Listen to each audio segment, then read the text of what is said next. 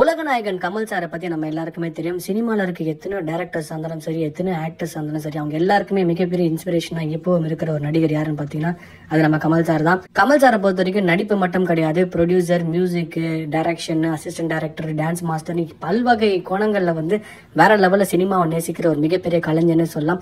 அதெல்லாம் தாண்டி இவர் வந்து மக்கள் நீதி மையம் அப்படின்ற ஒரு இயக்கத்தை ஆரம்பிச்சு இப்ப வரைக்கும் அரசியல்ல மிகப்பெரிய சாதனை பண்ணின்னு துடிச்சுக்கிட்டு இருக்காரு.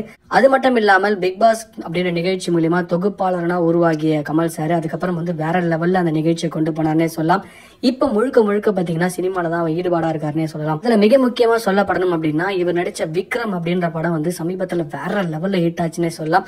அந்த படத்தை வந்து இயக்குனது யாருன்னா நம்ம லோகேஷ் கனகராஜ். இப்ப வந்து இளைய தளபதி விஜய் வச்சு லியோ அப்படின்ற படத்தை வந்து இயக்கிட்டு இருக்காரு. ஆனா அதுல மிக முக்கியமான விஷயம் என்னன்னு பாத்தீங்கன்னா என்னதான் லோகேஷ் கனகராஜ் வந்து மிக முன்னணி நடிகர்களை வச்சு இப்ப படம் எடுத்தாலும் லோகேஷ் கனகராஜுக்கு மிகப்பெரிய இன்ஸ்பிரேஷன் யாருன்னு பாத்தீங்கன்னா நம்ம கமல் சார் தான். அந்த அளவுக்கு இப்ப வருங்காலத்துல வர எல்லா இளைஞர்களுக்குமே ஒரு மிகப்பெரிய எடுத்துக்காட்டாகவும் மிகப்பெரிய ஆசானாகவும் விளங்குற ஒரு என்சைக்ளோபீடியா அப்படின்னு சொன்னா அது நம்ம கமல் சார் மட்டும்தான்.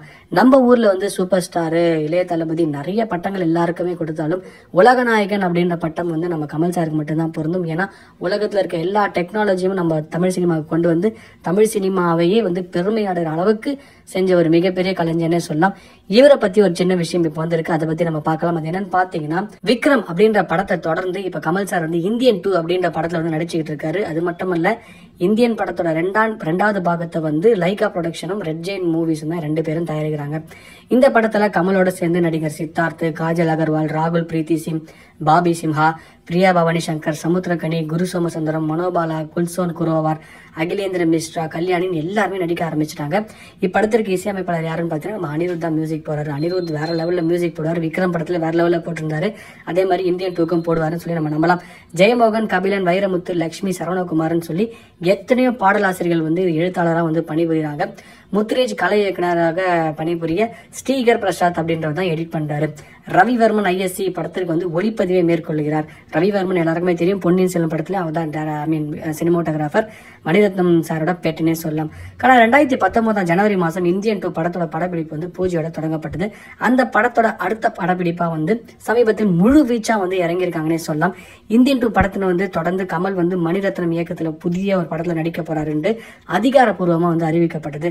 மணிரத்னம் சாரும் கமல் சாரும் வேற லெவலில் இணையும் போது அந்த படங்கள் எப்படி இருக்கும் அப்படின்ற மாதிரி நம்ம பழைய படங்கள் படங்கள்லாம் பார்த்துருவோம். நாயகர்லேருந்து இப்போ வரைக்கும் பார்த்தீங்கன்னா இப்போ மறுபடியும் ரெண்டு பேரும் சேர்றாங்க அப்படின்னா அப்போ அந்த படத்தோட எக்ஸ்பெக்டேஷன் எப்படி இருக்கும் நம்மளே புரிஞ்சுக்கலாம். இந்த படத்தையும் வந்து red Jain movies and Madras talkies ரெண்டு பேரும் சேர்ந்து தான் தயாரிக்கிறாங்களாம் கமலஹாசன் மணிரத்னம் சார் ரெண்டு பேரும் இணையும் இந்த படத்திற்கு முன்னதாக ஹெச் வினோத் வந்து அவரோட இயக்கத்தில் கமல் சாரை நடிக்க வைக்க போறாராம் இந்த திரைப்படத்தை வந்து கமல்ஹாசனோட ராஜ் கமல் நிறுவனமே வந்து தயாரிக்கிறாங்க அப்படின்னு சொல்லி ஒரு நியூஸ் வந்திருக்கு. இந்த புதிய படத்தின் அறிவிப்பு வந்து விரைவில் வெளியாகும் அப்படின்னு எதிர்பார்க்கப்படுகிறது. கமல் சார் இந்த வினோத் படத்திற்காக முப்பத்தஞ்சு நாட்கள் வந்து கால் ஷீட் கொடுத்துருக்காராம் அப்படின்னு சொல்லி தகவல்லாம் வந்திருக்கு. இந்த நிலையில நடிகர் கமல்ஹாசன் வந்து தெலுங்கு நடிகர் பிரபாஸுக்கு வந்து வில்லனா நடிக்க போறாரு அப்படின்னு சொல்லி ஒரு பயங்கரமான நியூஸ் இப்போ வந்திருக்குங்க. அது மட்டும் கிடையாது பிரபாஸ் வந்து எந்த அளவுக்கு வேற லெவல் மாஸ் ஹீரோவா அங்கே இருந்திருப்பாரு. பிரபாஸ்க்கு வந்து கமல் சார் வில்லனா வரும்போது அது எப்படி இருக்கும்ன்றது நம்மளே எக்ஸ்பெக்ட் பண்ண முடியல. கமல் சாருக்கும் நமக்கு இந்தியா ஃபுல்லா ஃபேன்ஸ் இருக்கிறதுனால இந்த கிளாஷ் வந்து வேற லெவல்ல இருக்குன்னே சொல்லலாம். இதுக்காக கிட்டத்தட்ட இருபது நாள் வந்து கால் ஷீட் கொடுத்ததாகவும் நூத்தம்பது கோடி வரைக்கும் சம்பளம் வந்து பேசியிருக்காங்க கமல் சார் கிட்ட.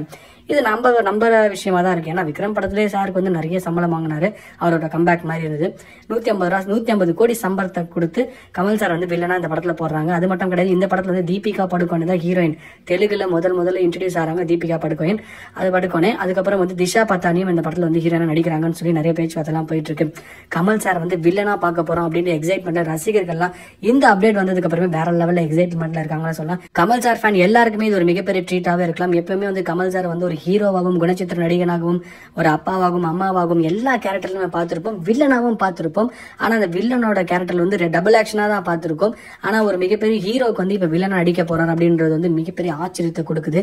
அது எப்படி அவர் ஒத்துக்கிட்டார்? அந்த படங்களோட கதைக்கரு எப்படி இருக்கும் அப்படின்னு சொல்லி இப்போவே பயங்கர எக்ஸ்பெக்டேஷன் வந்துட்டு இருக்குன்னு தான் சொல்லலாம் கமல் சார் வந்து அவரோட சின்ன வயசில் எப்படிலாம் நிறைய படங்கள் வந்து யூனிக்காக பண்ணாரோ இப்போ அவருக்கு வயசு ரிவர்ஸ் ஆகிற மாதிரி எல்லா படத்தையுமே ரீஎன்ட்ரி கொடுக்குற மாதிரி ஒவ்வொரு படத்தையும் மறுபடியும் இன்ச் பை இன்ச்சாக புதுசு புதுசாக பண்ணணும்னு ஆசைப்படுறாரு நினைக்கிறேன்.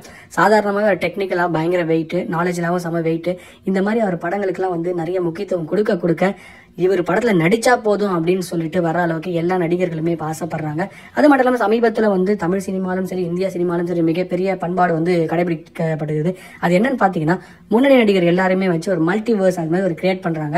அது மாதிரி வந்து லோகேஷ் கனகராஜ் பண்ண கைதி படமா இருக்கட்டும் விக்ரம் படமா இருக்கட்டும் மாஸ்டர் படமா இருக்கட்டும் இது எல்லாமே வந்து மல்டி லோகேஷ் கனகராஜ் யூனிவர்ஸ் அப்படின்ற மாதிரி ஒரு பேட்டர்னை கொண்டு வந்துட்டாங்க.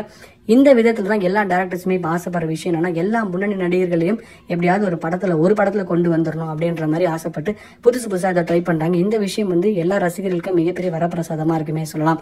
அது மட்டும் இல்லாமல் எல்லா நடிகர் அவங்கவுங்க பிடிச்ச நடிகர்கள் எல்லாமே ஒரே படத்துல வருதுன்றது வந்து கிட்டத்தட்ட அவெஞ்சர் படத்துல வந்து எல்லா சூப்பர் ஹீரோஸும் வரா மாதிரி தான் ஸோ அந்த மாதிரி ஒரு எக்ஸ்பெக்டேஷன்ஸ் தான் இந்த மாதிரி விஷயங்கள் கிரியேட் பண்ணுது.